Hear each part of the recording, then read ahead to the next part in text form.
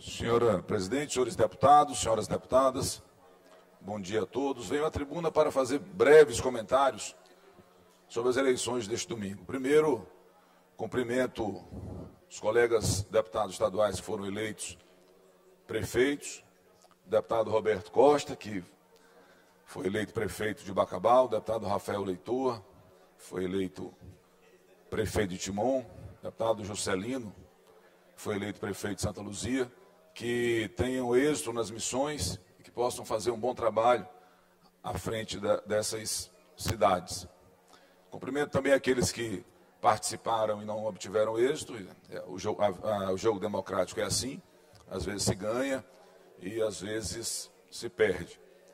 Quero dizer que, enquanto deputado do Solidariedade, ficamos satisfeitos com o desempenho do nosso partido no Estado, partido que eu já me filiei há poucos meses.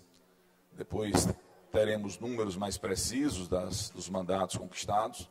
Destacaria a eleição de São Luís, que foi, como todos nós sabemos, vencida pelo atual prefeito Eduardo Braide, a quem saúdo e desejo que faça um, que faça um excelente mandato a favor da nossa cidade.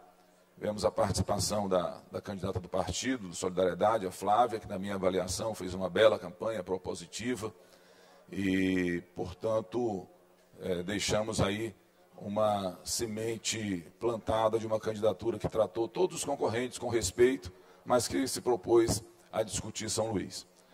E dentre tantas vitórias importantes, tivemos pelo Maranhão, é, vários municípios onde vencemos a eleição, posso fazer referência à Vargem Grande, onde o prefeito Carlinhos Barros demonstrou sua força, e o Preto foi eleito prefeito, com uma larga maioria, assim como o Parnarama, o Juvenal foi eleito com, com o decisivo apoio do prefeito Ramidinho Silveira.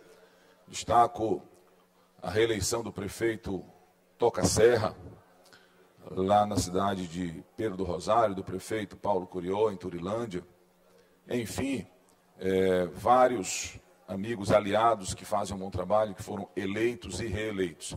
E faço um, e pontuo de forma especial a eleição do André da Ralpinete, com o vice-prefeito, agora eleito, Paulo Lobato, na cidade de Pinheiro, numa demonstração de que a população de Pinheiro cansou de dois modelos ultrapassados e resolveu escolher um, um cidadão, empresário, bem-sucedido, nascido em Pinheiro, no povoado de Pacas, e que construiu uma bela trajetória como empresário e agora foi eleito prefeito da principal cidade da Baixada Maranhense.